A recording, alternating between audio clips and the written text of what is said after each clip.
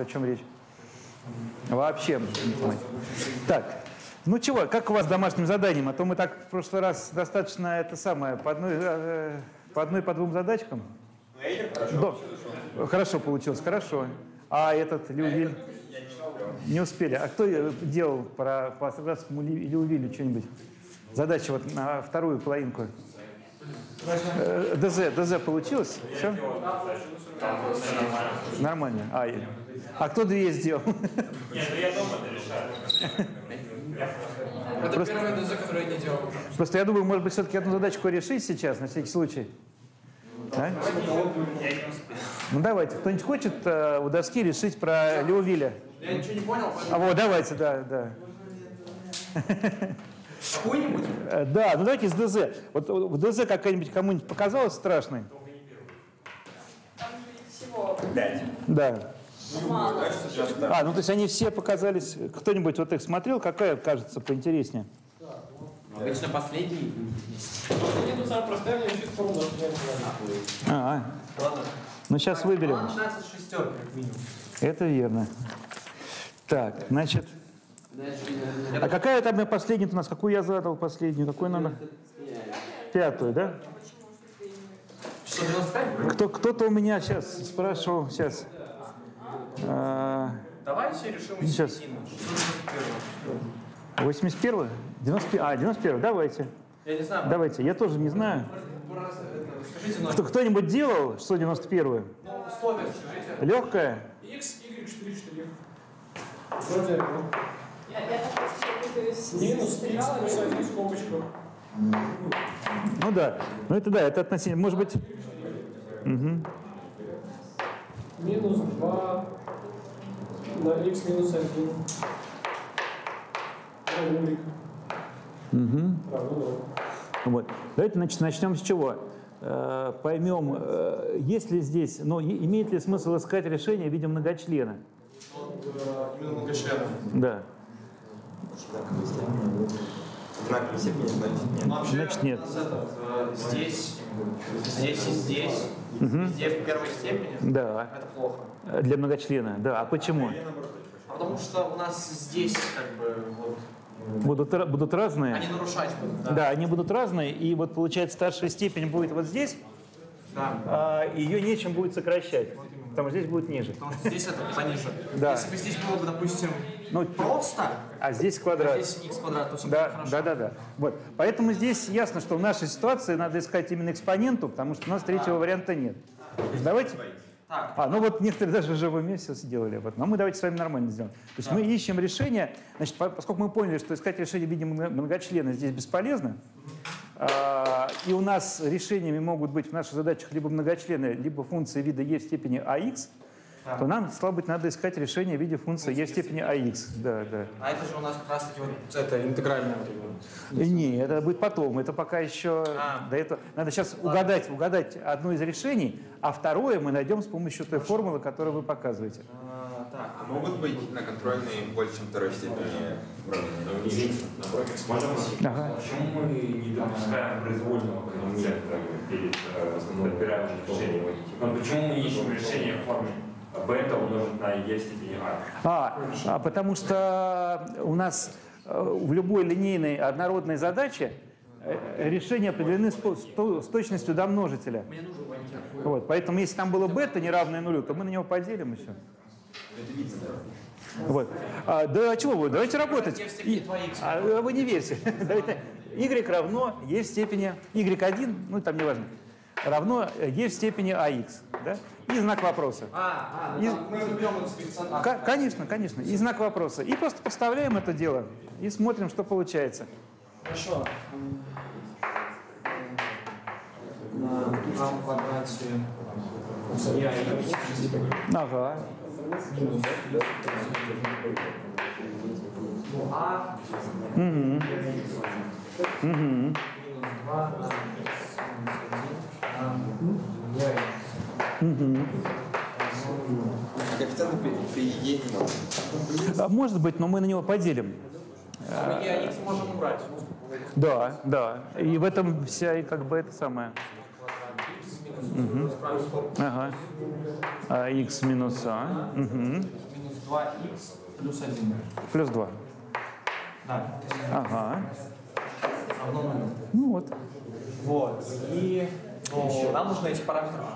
Да, то есть у нас слева многочлен, он равен нулю тождественно, только когда у него все коэффициенты равны нулю. Да. Вот коэффициент при x вы сейчас пишете, да, вот это должно равняться, ну да, ага. Сейчас я просто... Да, ага, ага. Вот.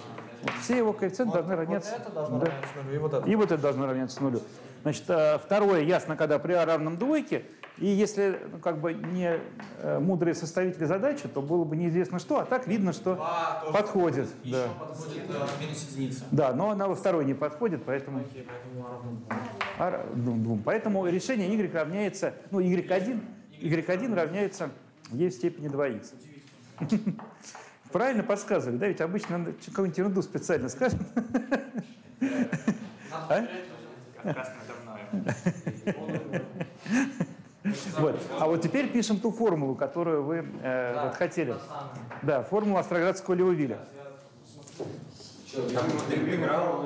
Там- Да, там будет экспонент и интеграл. Так, сейчас y1 на y2. Ну, мы знаем y1, это есть 2x.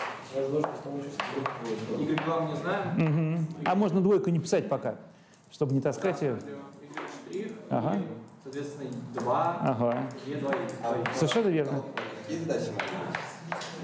А вот мы сегодня как раз, ну, э, значит, э, мы сегодня немножко порешаем, какие могут быть, но э, там может быть гораздо больше, а, так сказать, исчерп, ну, как бы, как это называется, все они включаются во множество э, примеров и замечаний из лекций.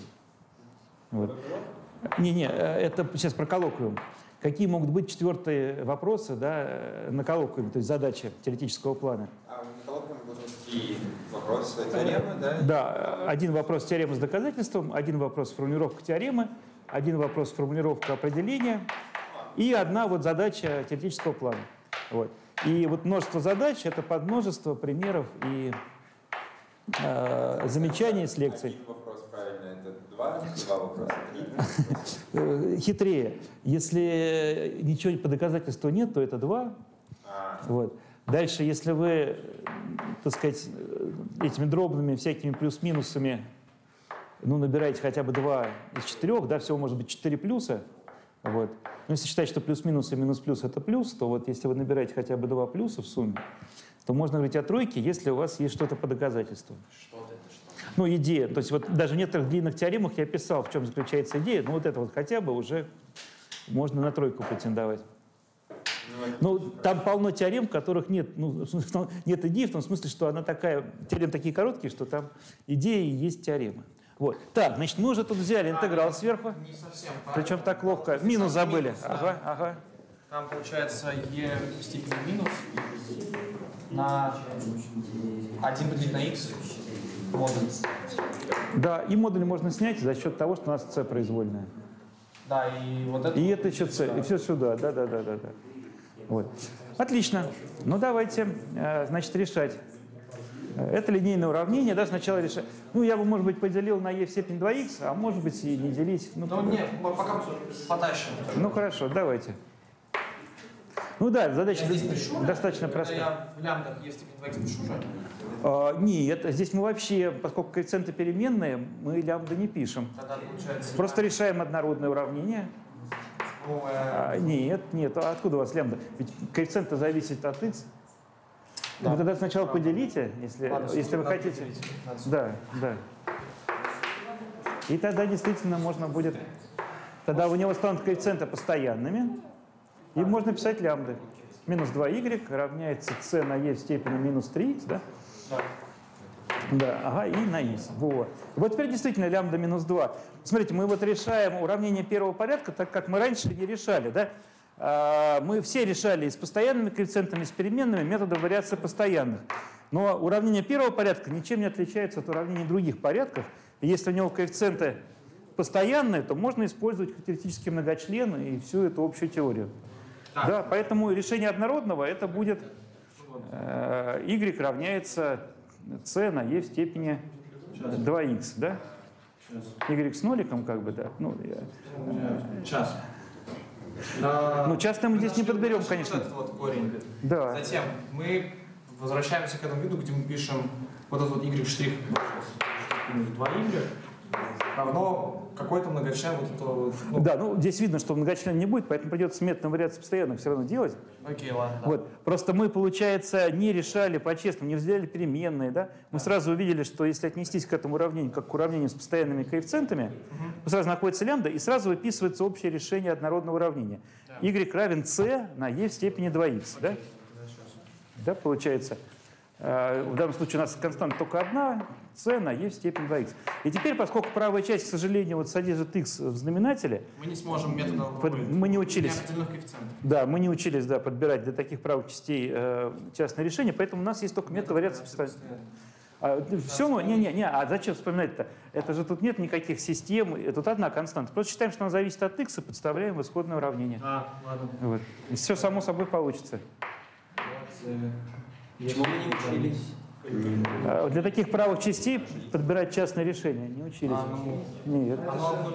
А? А, да, но будет еще слагаемое плюс c штрих на e в степени. потому что же- Она же зависит от... Да, да, да, а для чего вы все стираете? Там половина правильно. Там же, там в вариации написано, там же c это не просто Конечно, а функция, да-да-да. c от x 2x, да, на e степень 2x.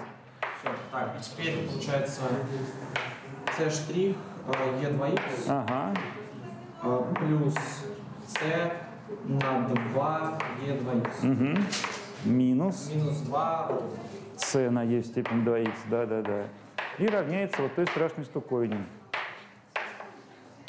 Можете повторить, пожалуйста, как нам подобрали решение, что y равно c в степени? e степень 2x. Ну, можно было просто решить уравнение, в котором здесь 0. Мы перенесли y направо, поделили на y, получилось бы логарифм y равно 2x. То есть плюс c, то есть э, э, y равно c на степень 2x.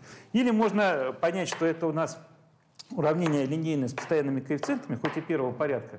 И оно подчиняется той же теории, что и более высокого порядка уравнения мы можем выписать характеристический многочлен, найти его корень, а корню соответствует вот такое решение. А, другое. Ну, 12 назови, это C1. Сейчас. Да, справедливо. Э, Это нет, это y0 скорее тогда уже. Ну, то есть вот э, такому корню соответствует e в степени корень x. Да? Вот. Мы домножаем на произвольную константу, получаем общее решение. Ага. Э. Что на степень над e имеет правильный знак. У нас же там получается минус э, от интеграла А1 делить на А0. А А1 делить на А0 имеет отрицательный знак. Получается, интеграл имеет положительный знак. сейчас, сейчас, значит. А, вот этот минус мы забыли, да? А, не, не, лучше поздно, чем никогда. А то мы А, сейчас тут справедливо. мучились, мучились со сложным интегралом. Да-да-да. Поэтому все-таки здесь будут все гораздо легче. Тут будет плюс, а здесь будет Да, без изначально правильно написал, получается. Да, да, интуитивно. А я этот, я увидел, что я минус забыл, ну и все, короче. Ну, я что-то не уследил, да. И получается, x у нас сверху, да, если На вниз. самом деле, Это да, совсем другое дело. А, ну и у нас еще это, у нас натуральный логарифм. Нет? Нет, ну, А, e в степени натурального, все. просто, просто x, да. Поэтому здесь будет e в степени минус 3x. А, в минус, минус x x. на x. Только минус x, да, все-таки? Здесь будет, да, Е в степени минус x. Ага, умножить на x, а это совсем другое дело. Короче, это надо стирать. Не, а чего? Не, не, а зачем? Э, Значит, э, это правильно, да? Вот здесь только надо исправить тоже. Да. Минус x и x наверх. Ага. И тогда можно не варьировать постоянно. Ну, можно и варьировать, раз уж мы начали. Тогда здесь, значит, Сейчас я подотру на всякий случай. да, Тогда у нас получается, смотрите, e в степени 2x она у нас переносится вот сюда как минус 2x. да, e в степени минус 3x. да. Значит, их равно... Это константа, это не от x, поэтому Ага. умножить на e в степени минус x на x. Да. Вот. Ну, вот здесь, может быть, было проще и а, подобрать частное решение. Частное решение. Это уже правая часть, для которой мы умеем это делать. Ну, раз начали, давайте возьмем интеграл. Да, ну тут как бы ничего страшного, просто по частям придется прокрутить. Да. Так, ну, c1 С1, ага. э, минус 3x Угу. Так, ну, э, мы можем экспоненту сюда занести. Да. Так, это у нас там будет... Сейчас. Я просто вспомнил, сейчас не помню. Угу. Правильная Кто у форма. нас кто? У это x. Соответственно, du это dx квадрат пополам.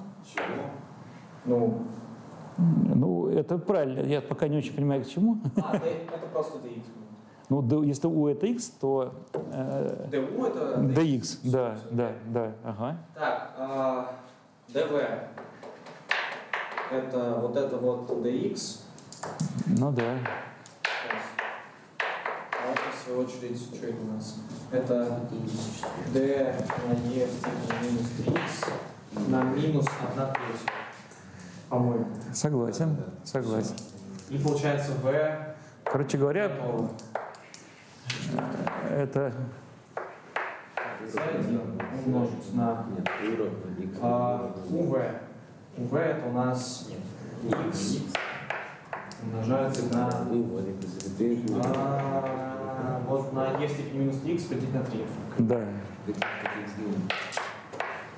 Ну, вы так фундаментально, да. Ну, в общем, э, фактически мы что сделали? Мы вот загнали e в степени минус 3x вот сюда и написали, что x, ну вот, x de равно xe Да. и минус вот этот интеграл. Сейчас, ага, минус. Я прям попомнил. Да-да-да. Потому что я это метод горовой увидел, короче.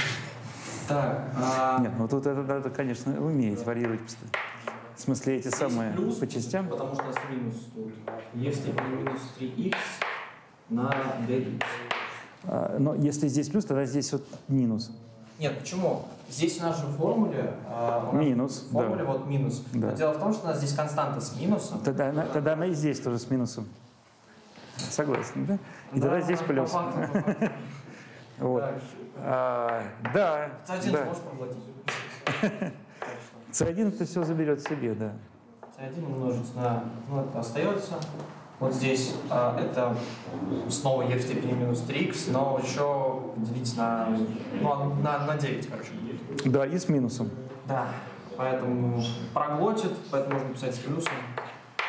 e в степени минус 3 плюс e в степени минус 3x на 9. Ну, Хорошо. Ну, в принципе, можно и девятку в C1. А, ну, все-таки А правильно, ну, и- да. и, еще важно все-таки вот здесь еще написать плюс C2, потому что константа нужна. Да, да, да. Вот. Да. Ну и вот теперь получается, да, вот эту штуковину надо просто умножить. Вот. Да, да. А, ну, это получается, что у нас? Всем C1. понятно, да, что происходит? Так, а на... В этом есть А, Вроде нет, вот C2 написали. А, И это умножать на... Так, ну, можно уже, в принципе, умножать сейчас. Сейчас. e в степени 2х у нас здесь будет e в степени x просто. Да, минус. Тут e в степени x, соответственно. Ну, только минус x, да? Да, e в степени минус x. Ага. Получается c1 на x на e в степени минус x третью. Ну, Пока Ага. не будем засовывать. Да, ага.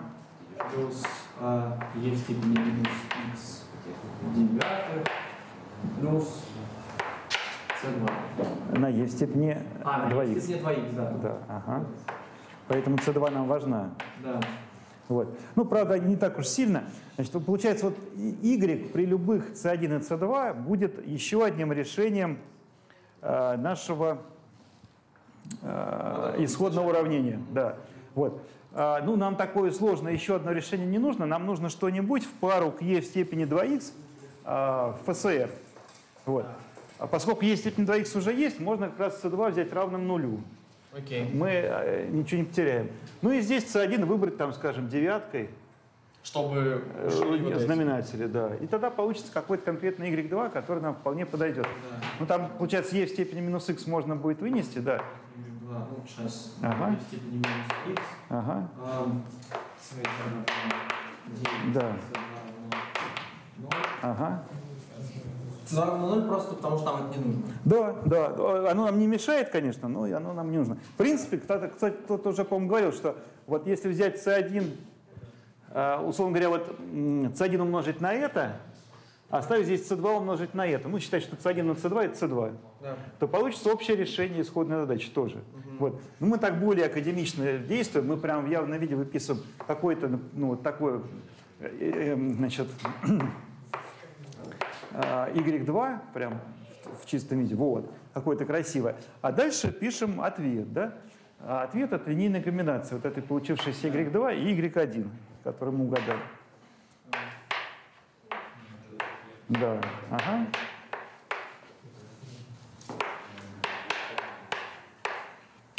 Да, совершенно верно. Вот. Тут единственное, что мне чуть-чуть непонятно, почему у нас здесь вот э, плюс, а здесь минус. Сейчас давайте сообразим. Значит, э, а, нет, у нас здесь не плюс, у нас здесь минус. Да, Когда мы поделили, да, да, да, да. Так все 2х нормально. Да, да, да, все правильно. То есть, вот если мы подбирали частное решение, у нас бы мы подбирали его как а, АХ плюс Б на Е в степени минус х. Да. Вот получилось бы А равно тройке, Б равно единице. Все, замечательно, все. Сами поняли тоже, да? Ну да. ДЗ надо все-таки поделать. Да. Вот. Ну, я понял. Как, кстати, у вас? Ничего? Кому как, да? Ничего хорошего, да? Понятно. А у вас вопрос какой-то? да? Ага. Мы же могли вот это уравнение, которое решало Арсений, решить просто ну, обычным методом решения линейных уравнений. А, пер- первого порядка? Или... Да, конечно. То есть на- сначала решить э, уравнение, когда здесь ноль. Да, получилось бы ровно то же самое. Вот, и так далее, да. Ну, потом мы делали как раз именно в таком духе.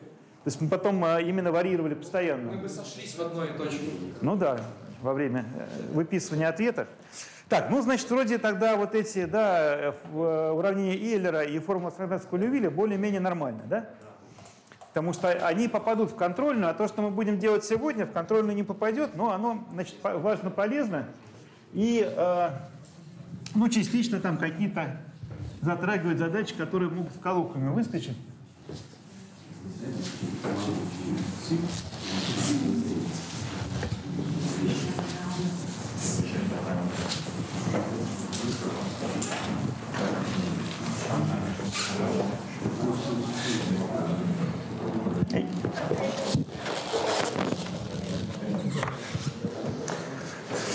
Так, значит, у нас сегодня вот получается, ну как-нибудь там, скажем, элементы. Общая теория линейных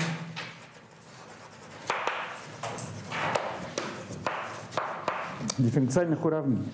Вопрос. Ага, Это получается уже тема не для контрольной. да. Или это уже контрольная?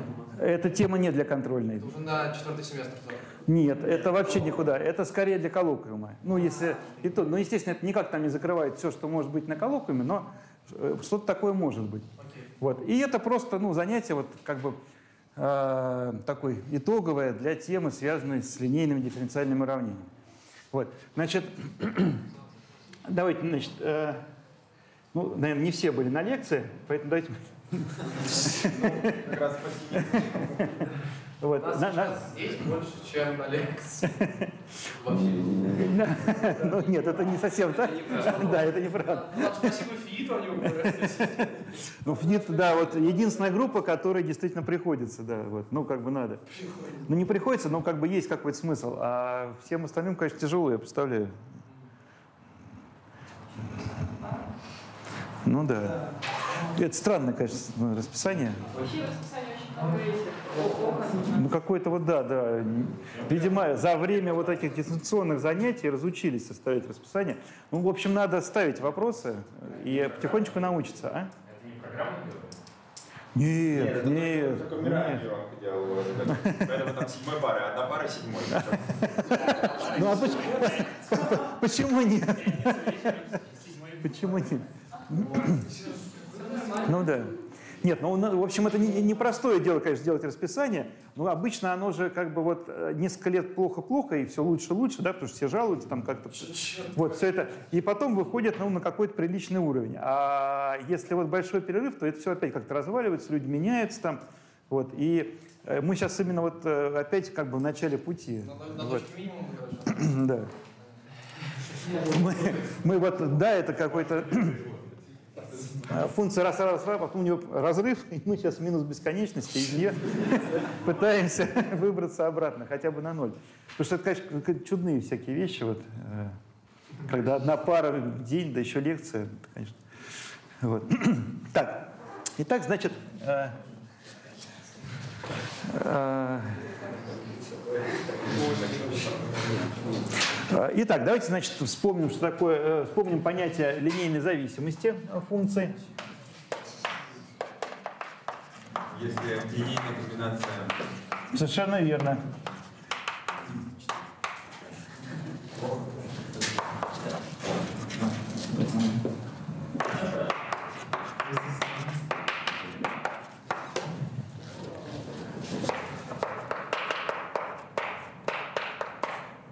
Существует э, нетривиальная линейная комбинация этих функций,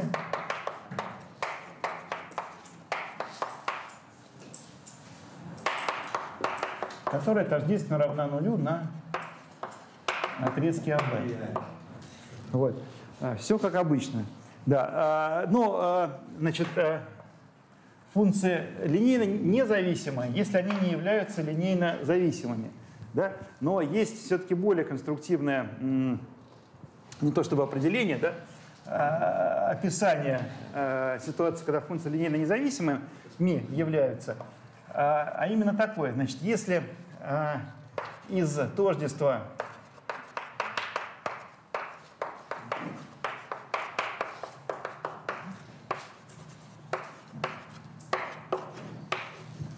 следует, что все константы в этом тождестве э, значит, равны нулю, то функции линейно независимы. Ну, понятно, на отрезке АБ. А? Такое можно попадаться в определение? А, Определение линейной независимости? Нет, скорее всего, там не будет. Там будет определение линейной независимости и задача, где надо доказать, что есть линейная независимость. То есть знать это надо. Я про третий Вот. Может, вот это вот. А, есть Да, это да, конечно, конечно. Вот. Но э, не, не самый, конечно, так сказать, центровой вопрос для дифференциальных уравнений, да, но вот, но может это же все-таки из нашего курса определения. Там есть и поинтереснее всякие вещи. Постановки задачи каши, это вот тоже ведь определение фактически, вот, которые вот, ну, такие нормальные, при которых можно доказать теорему существования, теорему единственности. Э, так, чего там нам еще? Э, э, определитель Вронского, да? Определитель Вронского.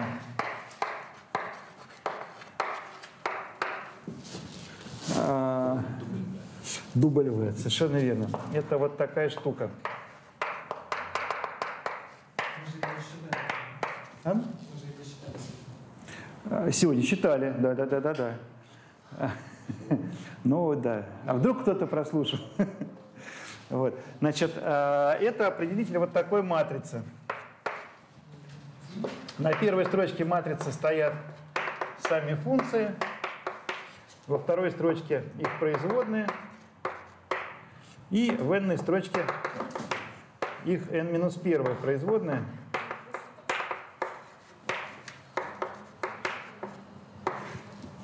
Их n-1 производные. Значит, э,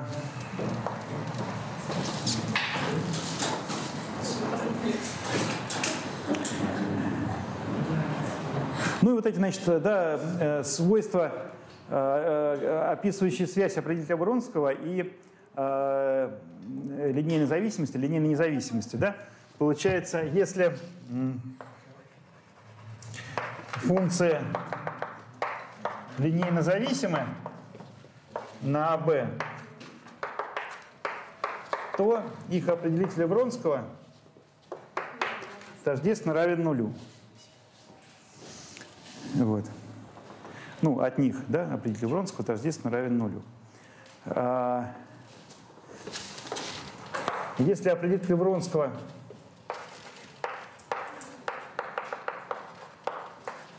какой-нибудь точке не равен нулю, а, то а, а, функция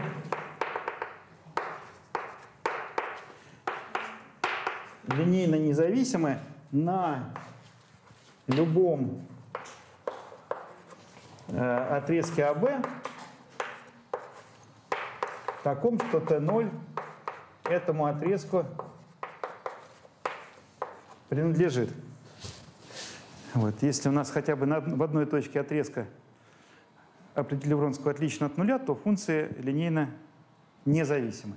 Э, Ну, это вот э, понятно, это следует из предыдущей строчки, потому что если бы э, они были линейно зависимы на отрезке, то он равнялся бы нулю везде, том числе и в Т0. А раз хотя в одной точке уже не ноль, значит, точно не могут быть линейно зависимыми. Вот. Ну и вот э, альтернатива, да, нам, правда, сегодня особо не понадобится. Ну так, чтобы просто за- за- завершить разговор. Значит, если э, э, функция являются решениями э, однородного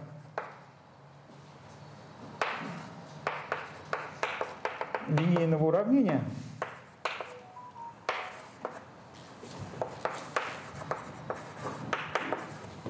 Вот.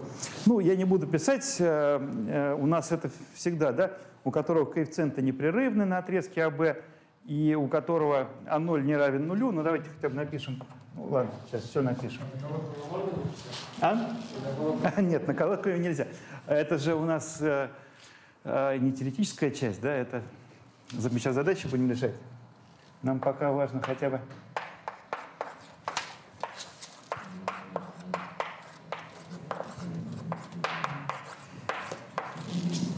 Вот. Э, Ну вот я написал, да, что А0 не равен нулю, и э, акаты все непрерывны. Э, То э,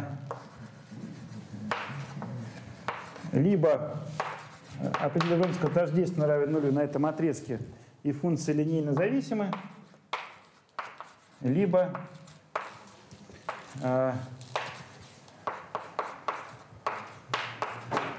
определитель Вронского, определитель Вронского не равен нулю ни в одной точке отрезка, и функция линейно независима.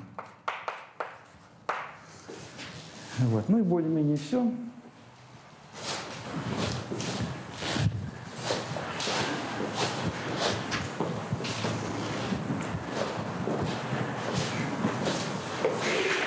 Сейчас у нас все функции необходимые должны быть решения или- Да, да.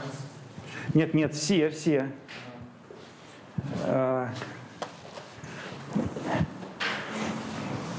Если не все, все Вот вопрос. Вот у нас, а, если мы действуем только в действительном пространстве, то у нас вот если дано вот это вот линейное однородное уравнение, у него, ну там, n порядка, условно, у него всегда будет типа n плюс одна функция является решением. Ну, не всегда, но ну, я бы сказал, никогда. ну, в случае, если действительно. Нет, э, n, n. n. А, ну, Да, а так всегда, так вы правы. Вот.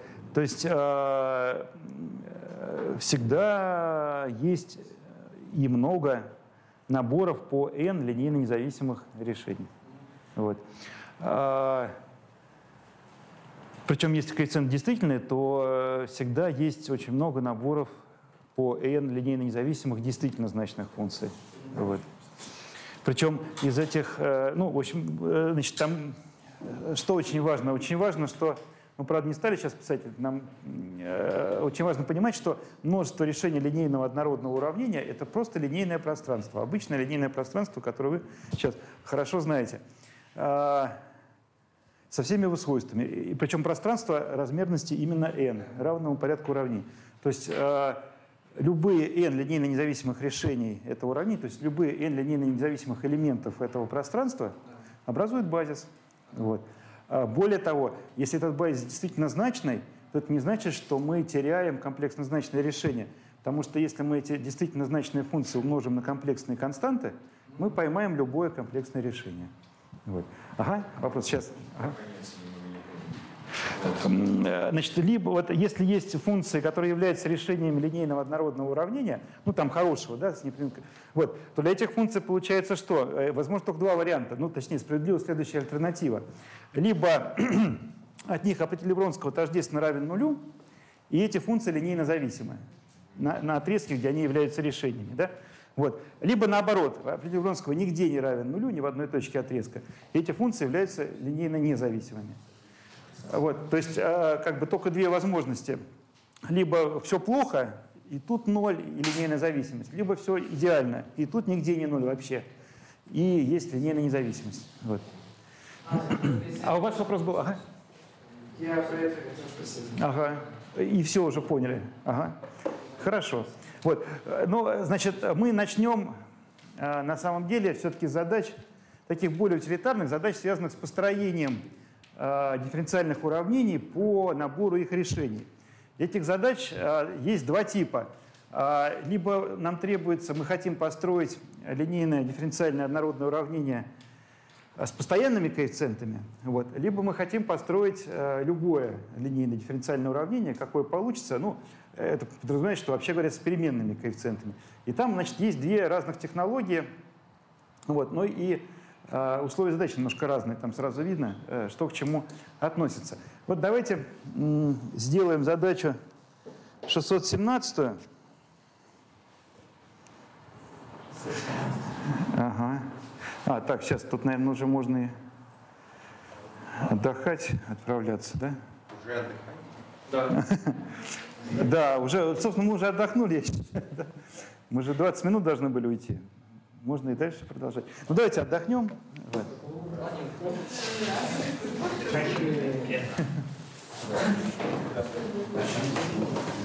Вот. Кстати, смотрел запись нашей трансляции, Ага. когда щелкаете, ничего не меняется. То есть она все равно работает, даже щелкает. Даже если вот там это самое... Постоянно работает. А там, по-моему, заставку поставить, заставка я- я к тому, что там тупер не работает. То, есть звук отключить нельзя, ага, понятно. Поэтому это... Последней лекции там А, а там при каких обстоятельствах? В общем, когда перерыв тоже был, да, наверное? И перерыв, вы выходили на телефон и говорили, Ага, и все было отлично и слышно. вы когда вы щелкали, стояли, смотрел, а наш- не- не видели, понятно. Да, на не Понятно. Я- Нет, мы думали, то, что можно на камеру, А, нет. но оно остается включенным именно Понятно. Ну, что же делать? А почему физики говорят комплексные числа? А, они англофилы. Нет, на самом деле, ко- значит, если, если на английский манер, то комплексные, естественно, да, комплекс. А если на французский, то комплекс, комплексные. А, У нас традиционно, а, как бы все-таки от французов пришла к нам математика э, в Россию, вот, и мы привыкли говорить комплекс, комплексный. Вот. Знаете, вот просто у нас сегодня лекция по физике была, и нас просто шокировало, то, что там комплексные Ком- да, ну, комплексно сопряженные, да, да, да, да, да, да.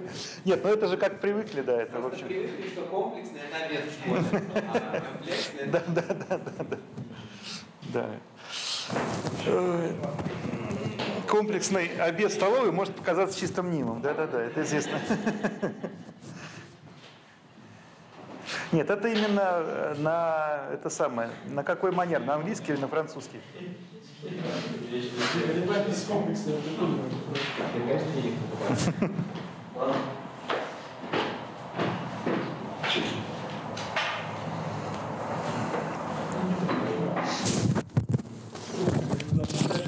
Решительно нас здесь заперли. Ага. Вы в свое время за уравнение получили? Пять.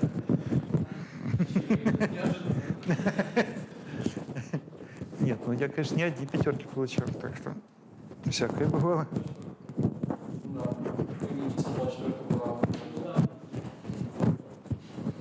Это другое. Нет, там он решил 7 дом задач, ой, сейчас споткнулся на седьмой дом задач, вот он сказал, дальше только три.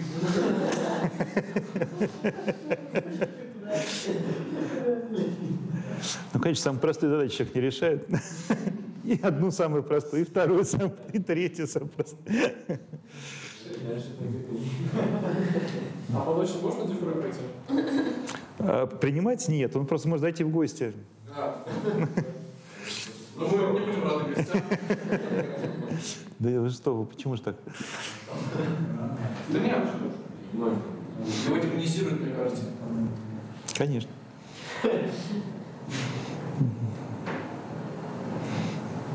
Ну, вряд ли про коллегу можно сказать плохо. Не, ну, про Алексея Андреевича я точно не могу ничего плохого сказать, наоборот, только хорошее. Нет, просто мне кажется, студенты скорее как э, какие-то, как перед удавом, теряют э, способность соображать. Вот. А напрасно, зачем терять? Чем терять, когда можно не терять? Да. Ну, подумаешь, страшно, мало ли. Зачем находить, когда можно не.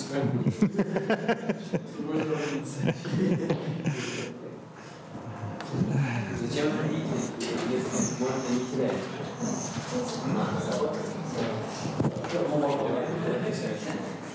Сейчас точно.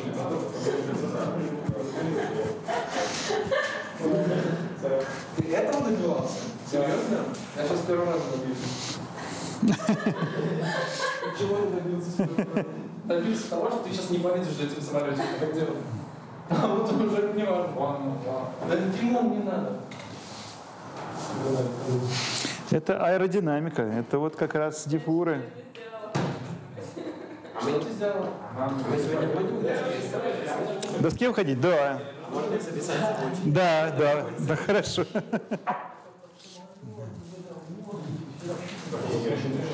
А сейчас мы какого типа задачи решать будем, получается? Ну вот немножко порешаем на построение уравнений, какой-нибудь там, да, пример вот с определением Вронского. По решениям. По решениям, да-да-да. Мгм. А Если у нас такого было, получается, на кого мы были задачи, которые мы видим при рождении? Нет, нет, а, все задачи на коллоквиуме а, являются подмножеством замечаний и примеров, приведенных на лекциях. Ну, то есть все, кто э, располагает лекциями, их читал, все не то, не то, что готовы, да, они просто могут наизусть любой ответ сказать, потому что Весь конспект можно выучить, и это только оно. Э, Ну да, ну, ну единственное, ну, конечно, там может быть, ну вместо там функции там 1 и синус будет функция 1 и косинус. Э, Да, в, это, в этом смысле может быть какая-то разница, вот, потому что все-таки ну, вопросов больше, чем этих... э, А еще какая-нибудь задача, которая тупо там, допустим, дано какое-нибудь, не знаю, уравнение вернули, и типа решить его надо было. Нет, нет, нет. Есть, Это все на зачет. то есть это чисто теория, или как? Или задачи, вот, ну, наподобие которых сейчас мы будем решать. То есть такие полутеоретические. Так, ну что, наверное, можно продолжать. Да? Даже нужно. Так, итак, собственно, давайте вот рассмотрим задачу 617. 617.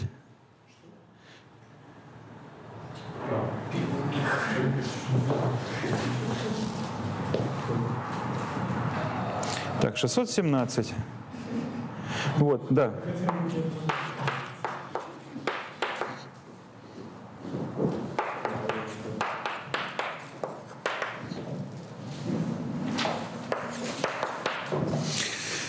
Значит, ну я не буду писать. Э, Требуется построить линейное однородное дифференциальное уравнение с постоянными вещественными коэффициентами, решением которого э, являются эти две функции. Да, и уравнение минимального порядка возможного.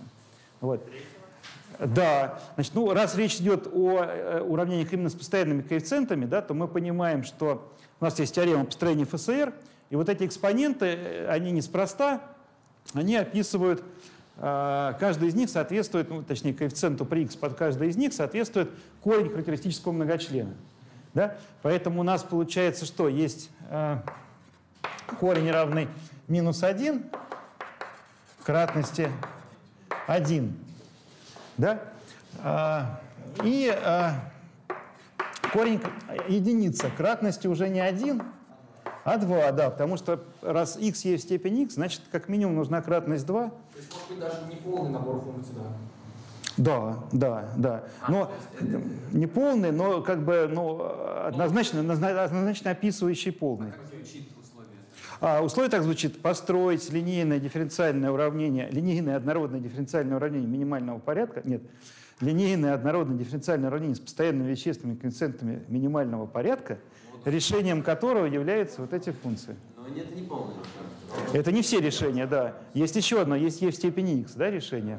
Раз есть x, в степени x, значит есть просто e в степени x. Тем не менее, мы понимаем, что чтобы вот эти две функции были решениями, э, корнями характеристического многочлена должен быть минус 1 и 1, и у единицы кратность должна быть минимум 2, потому что, чтобы возник x на e в степени x, кратность должна быть 2. Если там минимально, то ровно. То ровно 2, да. Поэтому как, как минимум у нас, да, э, э, характеристический многочлен содержит вот две таких скобки, одна из которых в квадрате, но поскольку нам надо минимальный порядок уравнения и минимальную степень многочлена, то другие скобки нам не нужны. Ага. С практической точки зрения обратная задача, обратные задачи нужны вот такого формата. М, Ну, э, да, правильный ответ, конечно, нужны. Вот. Все нужны задачи. Вот. Но это все-таки скорее именно задачи, показывающие, что вы хорошо знаете, как решается прямая. Да? То есть хорошо знаете вот теорему построения ФСР. А так, чтобы... э, Нет, а прямая. пр- Прямая решить дифур, да, а обратная построить дифур. Значит, если мы раскроем скобки, то получится что? Лямбда в кубе а, Минус лямбда в квадрате. минус лямбда. Минус лямбда. Плюс 1. Да, вот, точно. А, Ну и стало быть, э, искомое уравнение имеет вид y3 штриха минус y штрих, 2 штриха минус y штрих плюс y равно нулю. Вот.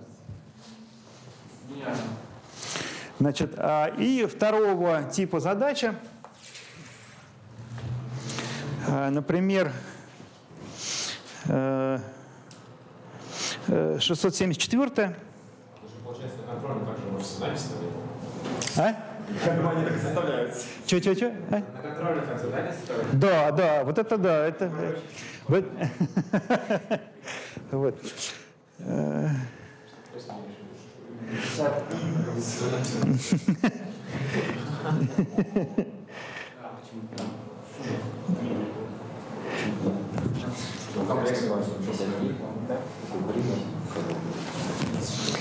Так,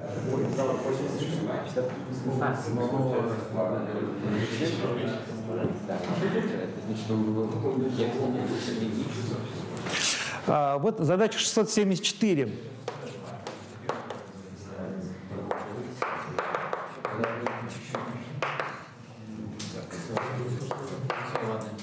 Значит, а, теперь надо построить просто линейное однородное дифференциальное уравнение минимального порядка, решением которого являются эти две функции. А, Значит, отметим, да, что а, это, ну, с точки зрения уравнений с постоянными коэффициентами, это тоже хорошая функция. Мы можем построить уравнение э, э, с постоянными коэффициентами, решением которого, даже действительными, являются вот эти две функции. Да? Это будет уравнение какого порядка? Как минимум, если с постоянными коэффициентами. Нет, с постоянными коэффициентами. Третьего. Ну, потому что, смотрите, раз есть еди- е, е в нулевой, е в степени и, а значит еще е в степени минус и. Да, вот. То есть если косинус, то и синус. Да, Ага. А мы можем получить синус, взяв единицу минус, ну, корень из единицы минус косинус квадратный. Корень из единицы минус косинус квадрат. Это. Э, Это чтобы что? Чтобы получилось, чтобы получилось второго порядка. Да. А Тогда будут, э, ну, как бы, э, мы не подберем уравнение с постоянным коэффициентом, у которого решение является корень из единицы минус косинус квадрат. То есть это нелинейная комбинация этих двух функций. Вот.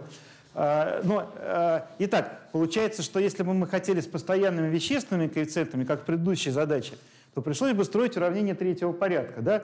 А, Лямбда просто умножалась бы на Плюс один, совершенно верно. Вот. Если нам от нас не требуют построить э, уравнение с постоянными коэффициентами, вот, то мы можем построить уравнение более низкого порядка. У нас две функции. Ну, достаточно очевидно, что они линейно независимы, хотя это надо все-таки обсудить, еще будет. А, Значит, э, мы вполне можем построить уравнение второго порядка, если мы не завязываемся на постоянные коэффициенты. Значит, как это делать? Сначала мы давайте посмотрим, что у нас тут с линейной независимостью. А, значит, если мы посчитаем, а, ну, точнее, тут даже делаем, ну, давайте сейчас по порядочку. Посчитаем определитель Вронского от этих функций.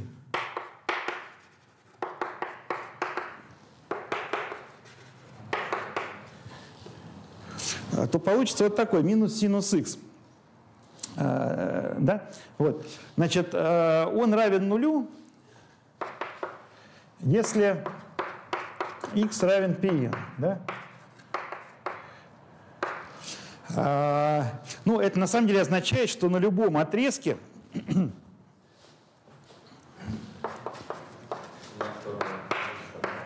эти наши функции будут линейно независимы на любом отрезке. Раз нули определителя Вронского — это просто вот такие ну, дискретные да, точки, то какой бы отрезок мы ни взяли, на нем будет, а, сколько бы на него не попало этих нулей, на нем будут и точки, в которых определитель Вронского в ноль не обращается.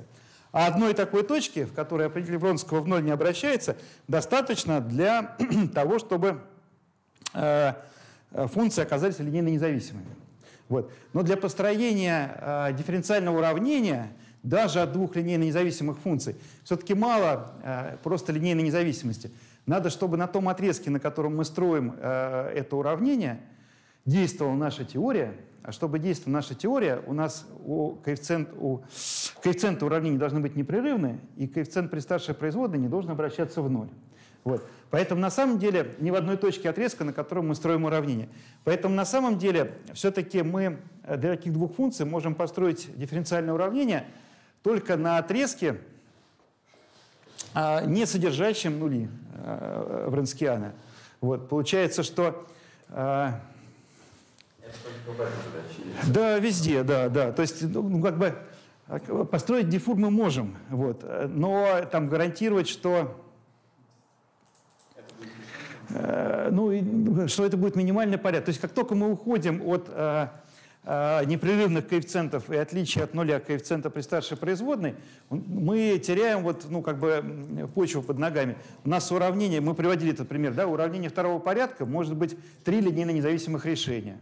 И если у нас э, как бы линейное уравнение там, ну, первого порядка, да, линейное уравнение первого порядка – с разрывным коэффициентом, с разрывным коэффициентом или обращающимся в ноль коэффициентом, у него может быть два решения да, а, линейно независимых. То есть если мы говорим вот о том, что мы что-то гарантируем в плане того, что порядок уравнений минимальный и все такое, нам мало линейной независимости, нам нужно выполнение всех условий наших теорем, а эти условия подразумевают непрерывность коэффициентов и отличие от нуля коэффициента при старшей производной. Поэтому нам придется все-таки строить уравнения,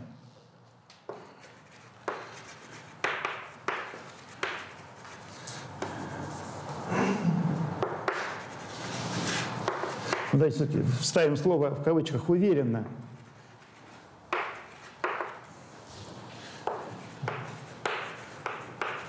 То есть с гарантией того, что там у него порядок минимальный, что нет каких-то э, еще э, неточностей э, по отношению к поставленной задаче. Построить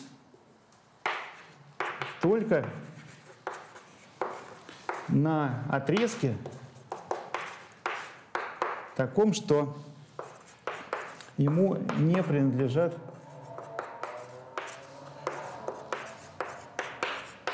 э, нули нашего Вронскиана. Вот. И делается это достаточно просто. Э, мы рассматриваем вот такое уравнение. Выписываем определитель следующей матрицы. У нее в первом столбце стоит э, функция y1 ее первая производная и вторая производная. Во втором столбце функция косинус x, ее первая производная и вторая производная. Ну, что-то... Да, что-то что тут, что тут не то. Да, вот так вот. А, а в третьем столбце стоит а, неизвестная искомая функция – вот. Значит, этот определитель, если его раскрыть по третьему столбцу, представляет собой э, линейное выражение относительно функции y и его производной с какими-то коэффициентами. Вот. Если мы это дело приравняем к нулю, а, то у нас получится уравнение. Да? Оно будет линейным, э, дифференциальным, а, второго порядка. А, И коэффициентом при старшей производной у этого уравнения будет как раз определитель Вронского, который на нашем отрезке не обращается в ноль ни в одной точке. Вот. В итоге получается уравнение какое? Значит, минус э, синус x y2 штриха э, плюс косинус x y штрих и все, да? Это я ра- ра- раскладываю. А? Будет они будут. Э, Не совсем так. Э, То мы ничего не сможем гарантировать. Ну, из-за может быть, да? Э, Да, да. Вот. Э, Если определитель Вронского равен нулю, да, то во всех точках вы имеете, или в одной точке. Там тоже все. Нас сказано, что если они линейно зависимы, то определитель равен. Да, Если он не равен то они линейно независимы. да. Е- Если он... про то, что если он равен значит не линейно. Неверно. Вообще говоря, неверно. Да, вообще говоря, неверно, да. Вот. Значит, а, равно нулю. Вот. Значит, а, ну, можно даже переписать, да, в более таком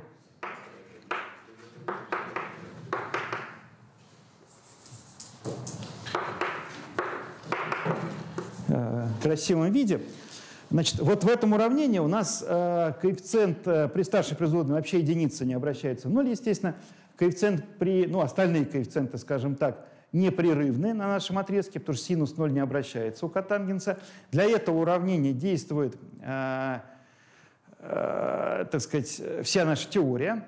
Поэтому и решением этого уравнения, очевидно, являются и, еди- и единица, и косинус х. Почему? Потому что если мы подставим сюда вместо y единицу, то мы получим точно такой же столбец, как первый. Определитель будет равен нулю по свойству определителей. И с косинусом то же самое, да, будет э, повторяться столбец, и значит определитель будет э, равен нулю. Поэтому у всех определителей такого вида а, решениями будут являться функции, стоящие значит, в первой строчке э, во всех столбцах. А? А, Ну, как бы э, 1, 0, 0. Будут два одинаковых столбца. И при косинусе будет тут такой же столбец, как вот этот. А зачем, Правильно? В принципе, ищем функцию, образованы находят Э, Функцию или, или точку? Э, Нет, сейчас, сейчас мы ищем э, уравнение, у которого вот эти две функции являются решениями. Э, Значит, э, э, возня с определителем Вронского связана с тем, что мы хотим, чтобы действовала наша теория. Вот. Но в частности, вот для чего мне сейчас это нужно? Мне нужно э, обосновать, что э, нельзя построить... Нет, это я уже обосновал, да? Значит,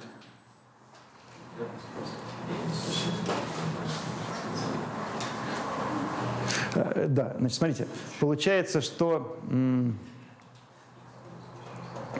Итак, что я получил? Я получил, что у меня две функции линейно независимы, это точно. Вот. Дальше я говорю, что если я работаю на отрезке, где их определитель Вронского не равен нулю, то у меня получается вот в таком духе э, уравнение, коэффициента которого удовлетворяет всем условиям всех наших теорем, связанных с э, теорией линейных дифференциальных уравнений. А это значит, что я могу гарантировать, что два, ли- две линейно независимых функции будут являться решением такого уравнения, только если оно имеет второй порядок. Уравнение первого порядка при нормальных коэффициентах да, э, не может быть больше одного линейно, не может быть двух линейно независимых решений. Вот. Поэтому минимальный порядок для двух линейно независимых функций это 2. Я его добился. Вот. Есть вопрос. Да. Вот нам в самом начале дано вот, то, что y1 равно единице, y равно косинус. Вот. Но в чем тогда отличие от 617 номера, если мы можем вот вообще точно так же решить, типа найти лямбды и Да. построить А, уравнение? у- Уравнение получается более низкого порядка. То есть, сейчас. а там мы это не могли сделать? Могли. А у нас бы не получилось все еще ниже. А У нас почему? У нас получился бы, получилось бы уравнение второго порядка тоже. Можем построить. Ну, точно так же вот написать, Да, только с этими штуками, да? Вот. Ага. Только надо W посмотреть, чему равен. Но он там с ним все, все в порядке. Ага. В чем, почему мы написывали вот третий, третий столбец? Если он, какую бы мы из первых не подставили, все равно было бы ну, так. Нет, ну как бы, э, э, да, во-первых, мы так хотим, во-вторых, ясно, что сюда можно еще много всего подставить, и тоже будет ноль. Любую лини- линейную комбинацию этих двух функций сюда можно подставить, тоже будет ноль. А, Нет, ну то есть это как раз э, уравнение, то, которое нужно. Да? Вот у линейного уравнения второго порядка, а, если у него решениями являются вот эти две функции, а, эти две функции являются базисом да, во множестве решений этого уравнения. Какая ситуация могла быть, если у нас... э, Вдруг, ну, это же всегда будет Не, не. Э, Вы имеете в виду, как бы, зачем я столько много вожусь вот с Вронским, что ли? Чем определить? Вот этот? Таким образом, А, Чтобы выписать уравнение. Ну, это один из способов построения уравнения. Вот, то есть вы его можете построить и по-другому как-нибудь. Взять и вообще догадаться, да, что оно такое, если функции такие. А это способ формально, это же самое получить, только всего. Могут просить, вот это получился с переменными коэффициентами, Да, а могут в условии сказать минимальный порядок с постоянным. могут. Когда мы не делаем это все, Тогда мы делаем, да, вот так. сразу так. Да, и э, то есть в данном случае было бы что? Тогда бы было бы один косинус, а еще синус был бы, да. Да, да, да, да. И все. Еще вопрос по поводу теории. Вот у нас вот эта последняя теорема Бальтернге, она не является достаточной, что если вот определите Из нее как раз следует, что и в обратную сторону верно. То есть, то есть для решений, для реш... она даже больше дает, э, ее утверждение еще сильнее. А так, конечно, из нее следует, что для решений линейных однородных уравнений теорема обратная вот к этой верна. То есть если это решение, и у них определитель Вронского тождественно равен нулю, то они, конечно, линейно зависимы. Вот. Ну, даже она больше говорит, да, она говорит, что вообще не может быть ситуации, когда он где-то равен нулю, а где-то не равен нулю. Вот. Там всегда вот либо тождественно равен нулю, либо вообще нигде не У равен нас нулю. встретился случай, вот мы рассматривали новый тест, где определитель Вронского. И вот именно поэтому мы и не рассматриваем произвольный отрезок АБ, хотя на произвольном отрезке АБ эти две функции линейно независимы, все в порядке. Вот. Но если значит, где-то попадается на отрезок хотя бы один такой ноль, вот, то вся наша вот эта вот теория становится неверной. То есть у нас как ни крутите, у нас будут выскакивать либо коэффициенты, которые разрывны, либо коэффициенты, которые обращаются в ноль, если вот мы допустим на этот, э, вот, э, этот ноль на наш отрезок. А тогда вот, ну, как бы даже нельзя утверждать, что, ну, не знаю, что у этого уравнения есть какие-то еще линейно независимые решения, кроме этого. Могут быть еще. Вот. И, ну, правда, это тут не важно, конечно. Вот. Но если мы хотим оставаться в рамках теории линейных э, вот нашей, да, такой классической, то мы должны работать только на отрезках, где W не равен нулю совсем, ни в одной точке. Вот. То есть было бы странно, если бы у нас э, было уравнение, у которого есть два решения, для которых определитель Вронского то равен нулю, то не равен нулю. Вот, потому что это будет начало противоречить вот с этой теоремой. Вот. И опять-таки, и это ничего такого плохого в этом нет, потому что жизнь гораздо богаче, чем эта теорема. Вот. Но просто мы вот запутались там со, со всякими обоснованиями того, что а вдруг есть более низкого уравне, порядка уравнения, у которого такие два решения есть, вот, и это уравнение тоже линейно относительно там э, y и y штрих. Вот. А вдруг то, а вдруг все. Вот. А мы говорим, нет, давайте мы будем работать в, в рамках нашей теории, а тогда все.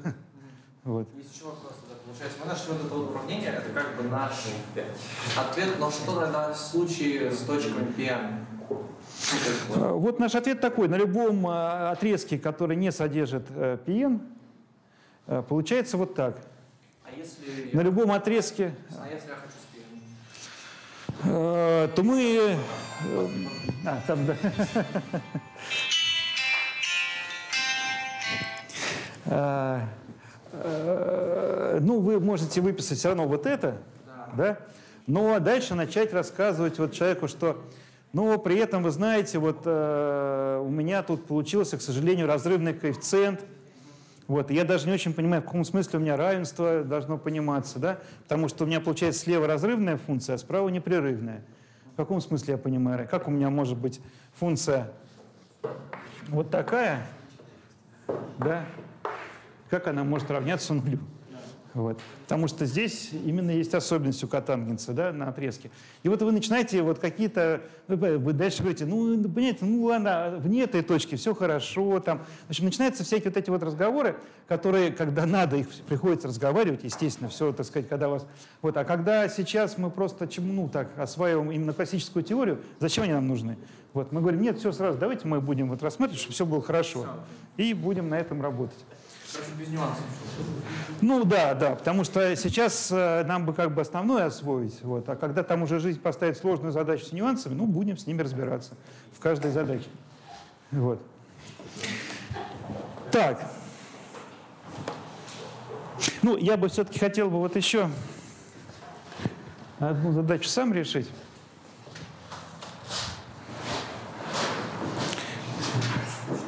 А у нас следующая задача тоже на? Нет. Это мы на всякий случай давайте продублируем. Хотя, с другой стороны,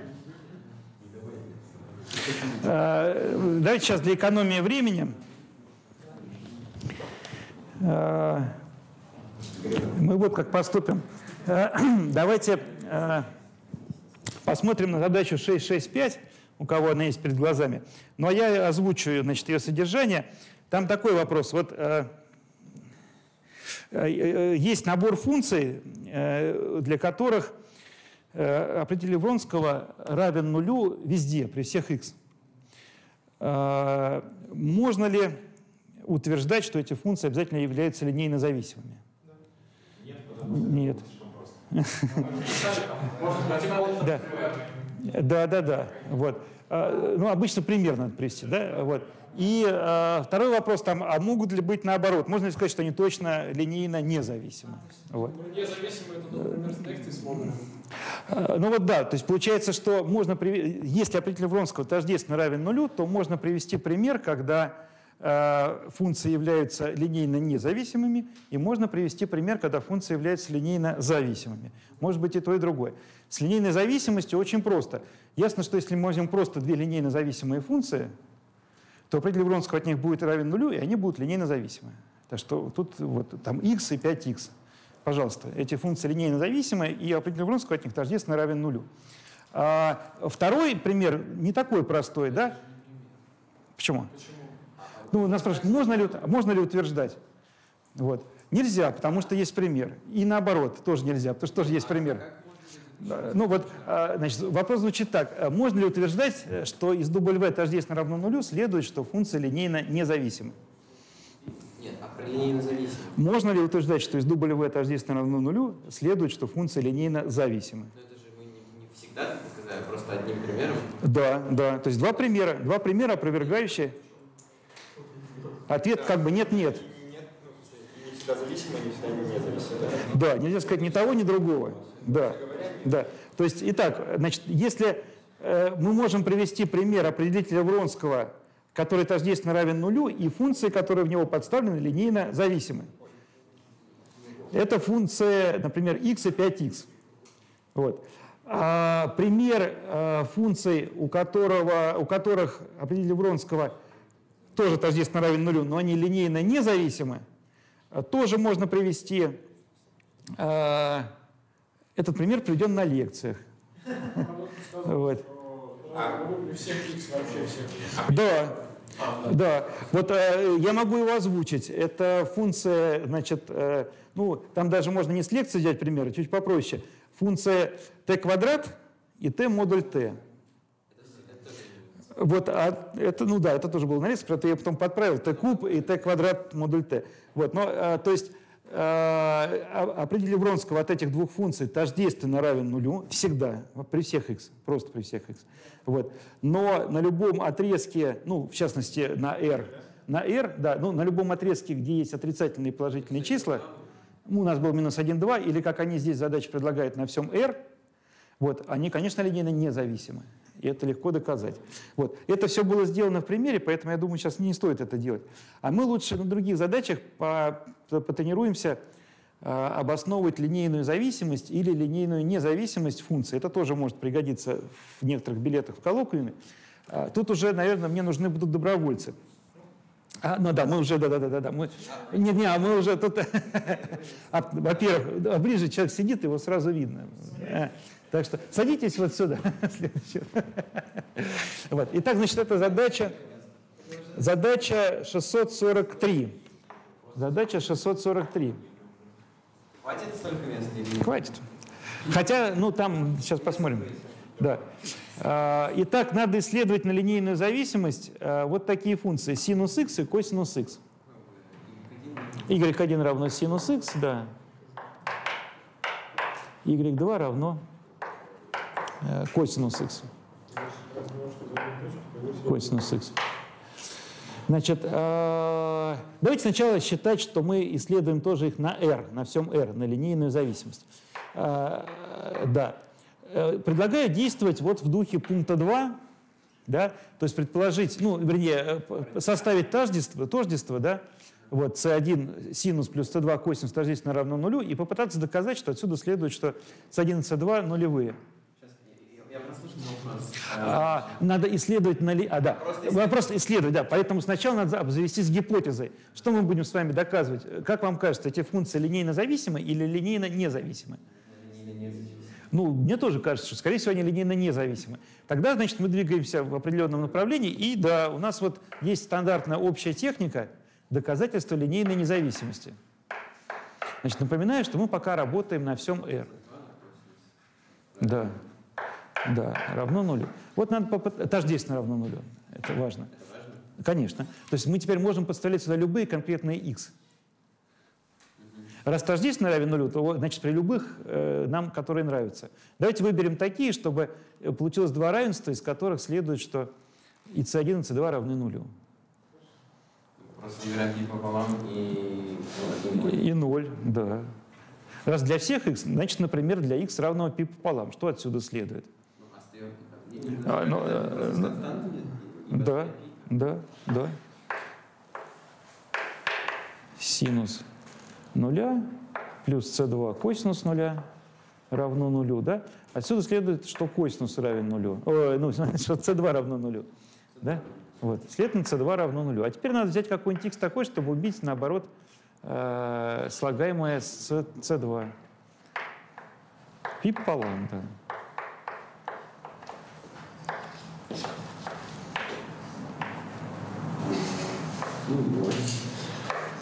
Да. Вот. Все, мы с вами доказали, что из, из того, что что-то вот это тождественно равно нулю, следует, что константа а, равны нулю в линейной комбинации. А, Стало быть, а, функции точно линейно независимы. А теперь давайте предположим, что нам эту задачу задали не на всем R, а на отрезке, ну, сейчас скажу каком-нибудь э, кривом. Сейчас, что у нас между... Сейчас. Между что больше пи на 6, но меньше, чем... Нет, сейчас. Что больше, чем... э, ну да. Пи на 6 больше, чем пи на 6, но меньше, чем пи на 4. Что-нибудь разумное. Пи э, на 5. Да, пи на 5. Супер. А, правда, пи на 4 тогда... Ну, хорошо. Э, отрезок, да, от пи на 5 до э, какого-нибудь, чтобы не попасть в пи на 4, да, значит, э, 5 пи на 5, а пи на 4 мы умножим там, а, пи на 5, да, это слева, а справа, значит, э, больше пи на 5, но меньше пи на 4. Четвертая пара 2 пи девятых. Это меньше, чем... А, нормально. Нормально, да. Вот. Вот на таком отрезке, как бы нам доказать линейную независимость?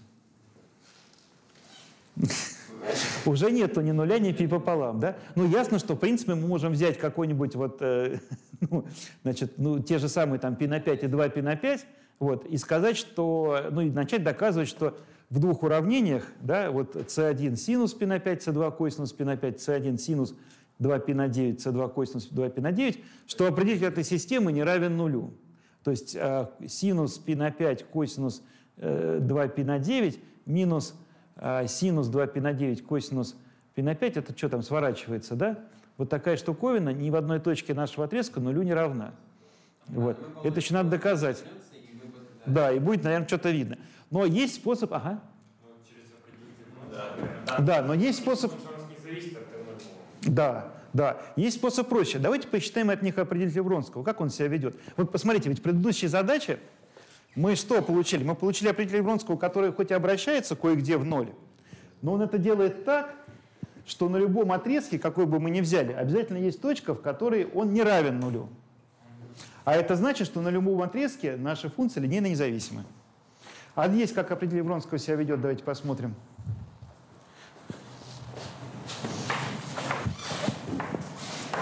Всегда один. Да, синус, косинус. Там как не читать. Да, а тут косинус минус синус, да? Да. Ну, вроде нормально. Да. Никто не видел. А, Минус квадрат, минус косинус квадрат. Один. Минус один.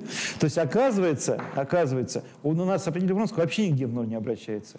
То есть на, на любом отрезке у нас э, функция, э, функция линейно независима. А, то есть в данном случае гораздо быстрее было бы доказать это вот так. Вот. Но поскольку и так тоже не очень сложно, и это все-таки более общий способ, Здесь Вот. мы просто, у нас раз это выполнено для любых x, значит мы берем, которые нам надо, удобное, и что из этого? Ну, ну, а, и получается система уравнений, ну да, и, да, из которой однозначно находим c1, c2. Оказывается, что они равны нулю. Вот. Так, замечательно. А, Да, исследовали все, да, линейно независимое на любом отрезке. Ну и в частности, где спрашивали, то есть э, на всем R. Так, кто у нас еще хотел? -то? Да, давайте. Так, у вас задача будет 645. -я. 645. -я. Да, конечно. А, Даны три функции. y1 равняется 4 минус x, 4 минус x, y2 равняется 2x плюс 3, э, 2x, э, 2x плюс 3, ага, и y3 равняется 6x плюс 8. Требуется исследовать их на линейную зависимость. Но, в принципе, мы с вами, как люди, хорошо знающие линейную алгебру, сразу можем сказать, зависимо, конечно. Это три многочлена степени не выше 1. Там размерность 2 у этого пространства. Да. Да, но из этого ничего не следует. А потому что из равенства нуля определителя Вронского не следует ни линейная зависимость, ни линейная независимость, вообще говоря. Вот. Но мы-то знаем, что они линейно зависимы, потому что мы линейную алгебру изучали. Вот. Но если мы, нам надо это доказать кому-то, кто не изучал, вот, то мы можем это сделать в лоб. Давайте приведем, э, ну, по крайней мере, может быть, до конца не будем доводить, но покажем, как привести пример конкретного набора констант, с которыми эта штука равна нулю тождественна. То есть так и напишем c1 на 4 э, на минус x, да, на 4 минус x, плюс э, c2 на 2x плюс 3, э, плюс c3 на 6x плюс 8, равно нулю. Тождественно даже можно написать. Тождественно равно нулю. Вот. Давайте, э, значит, э, раскроем скобки, придем подобные слагаемые при степенях x. Э, При степенях x. Ну давайте сразу же. А что? Нет, да давайте. А, а, это вы без x сейчас пишете. Все, отлично. Да-да-да-да-да. Все. Все правильно. Так, и теперь плюс x умножить на... Ну, x давайте за скобки вынесем. Ага. А какое мы вообще право имеем систему такую строить здесь?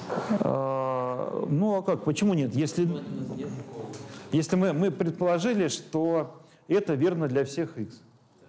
Вот, значит, для двух каких-то, у любых, какие мы выберем, тоже должно быть верно. Правильно ведь? Раз для всех. Вот. Ну и дальше, значит, это, соответственно, равно нулю. И вот дальше мы делать не будем. А, почему? Потому что дальше все более-менее ясно. Когда многочлен тождественно равен нулю? Когда у него равны нулю коэффициенты? Поэтому у нас получается два уравнения для трех неизвестных. Вот это равно нулю, и вот это равно нулю. Да? Эта система из двух уравнений с тремя неизвестными, однородная, она заведомо имеет решение, нетривиальное. Вот. Поэтому, Э, Ясно, что найдутся нетривиальные числа, c11, 23, такое, что это будет тождественно равно нулю. Не, не все, я вас не отпускаю, а то слишком просто. Давайте решим теперь задачу э, вот какую. Э, 6, 7, 8. 6, 7, 8. Мне хватит. Хватит, ага, ага. Все-таки еще разок, а то как-то мое так это самое, она вызвала интерес. Значит, 6, 7, 8. А, y1 равняется e в степени x. А, y2 равняется э, синус гиперболический э, x. А, y3 равняется косинус гиперболический x. Значит, а, Значит, э, надо построить, построить линейное однородное дифференциальное уравнение минимального порядка, решением которого являются эти три функции. То есть не обязательно с, с постоянными коэффициентами. Поэтому надо строить через матрицу, но, а, естественно, прежде чем строить через матрицу, а, мы должны убедиться в том, что определитель Вронского от этих функций не обращается в ноль. А он, очевидно, обращается в ноль, потому что, конечно, они линейно зависимы.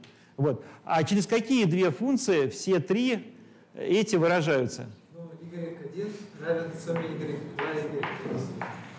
Э, Это да, да. То есть они, очевидно, линейные поэтому их все три нам не нужно, чтобы построить уравнение. Надо, а две из них будут ли линейно независимыми? Почему? Да. Ну, потому что есть степень x, есть степень минус x. Они линейно независимы. То есть все-таки э, любая пара из этих трех функций да, окажется линейно независимой.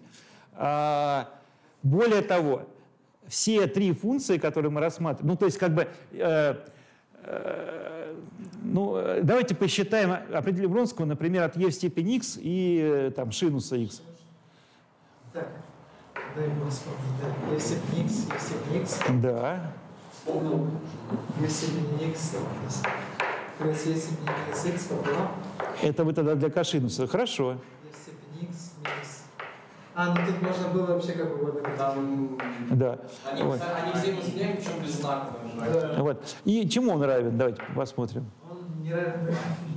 Это не- не равен. Можно перенести сюда, с одной второй, и вынести за скобку одну. Да, Вспоминаем первый семестр, да? да.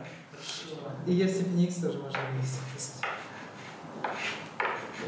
Единичка, единичка, и в степени минус x. Минус и в степени минус. Вот. И это у нас что получается? А это у нас e в степени минус x за скобку. Минус 2. Минус 2, То да. есть это у нас, Всего минус 1, что ли, получается? да, минус 1 получается. Да, ну вот. Значит, Из того, что определитель не равен нулю никогда следует или не да, и даже в одной точке следует линейная независимость, а из того, что равен нулю, ничего не следует.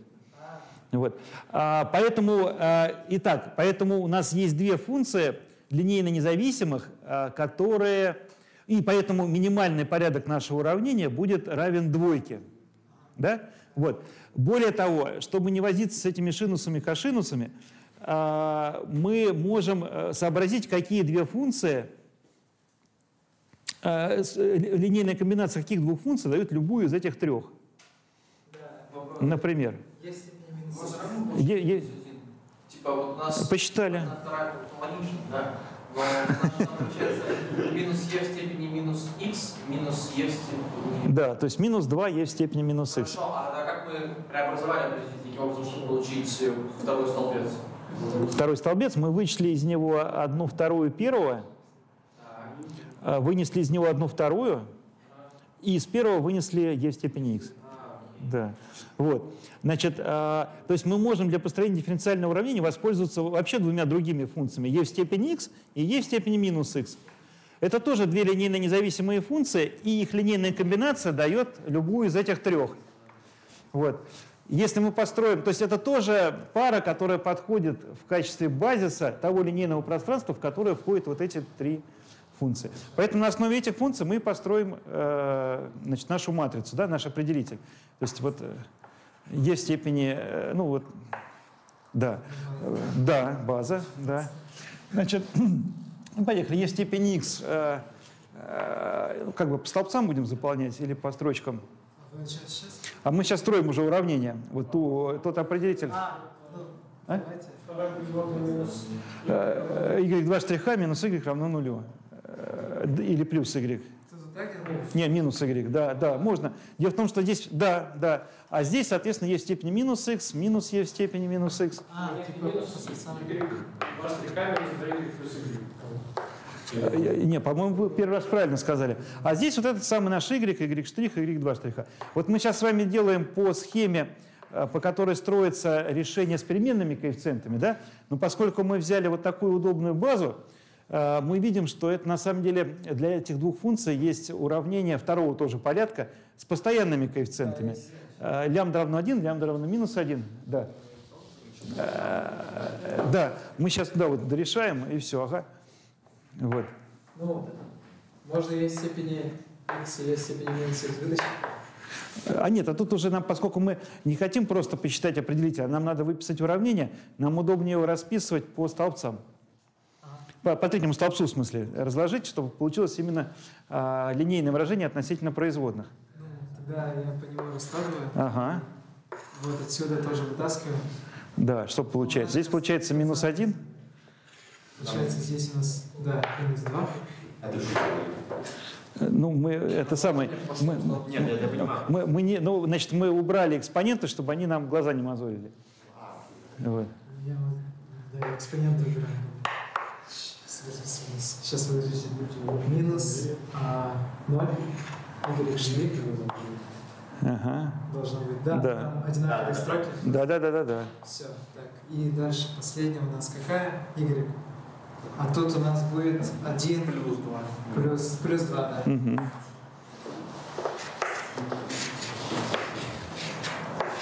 Да.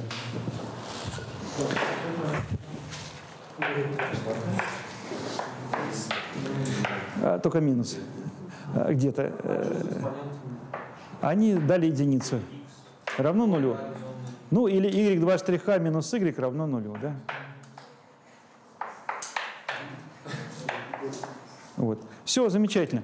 А, Ну, у нас получилось даже уравнение с постоянными коэффициентами. Но главное, что оно это именно уравнение минимального порядка, потому что тут две линейно независимые функции есть, и уравнение меньшего порядка, чем 2, никак не построить. А мы могли же с постоянными сделать. Да, да, сказали, что лямбда равно 1, лямбда равно минус 1, и получается лямбда квадрат минус 1 равно нулю, и значит y2 штриха минус y равно нулю, да, совершенно верно. Ну, замечательно. Значит, э, букв- э, сейчас я ДЗ скажу. Значит, э, вот... э,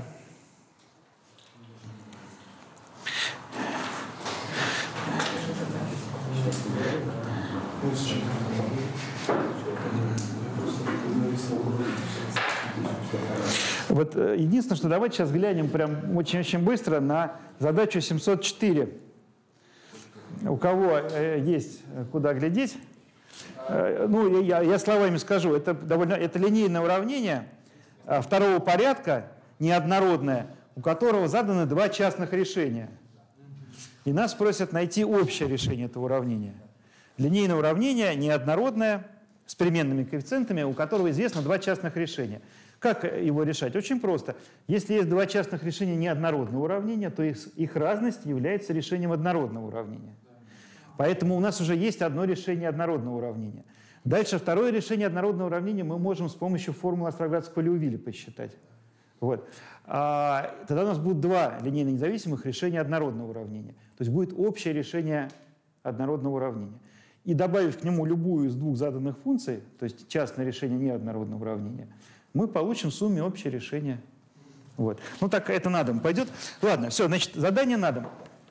А, Задача 615, 616, э, 615, 616, 618, э, 675, 677, э, 705, 716, э, 666, 646, э, 666, э, 646, э, 650 и 651. Вот. Все это, в общем... А? номер 15, Да. какой теме? Ну, это все вот, вот наподобие таких. То есть это все как бы коллоквиумы, собственно говоря. Вы решаете, кто не дорешал ДЗ по Староградскому Леовилю и по этому, вы дорешиваете, потому что это, это будет в контрольных. Ага. Вопрос. У нас вот одинаковый вопрос. Ага. Вот 674 номер. Мы Ага. вот это вот две функции, нам нужно построить минимального порядка.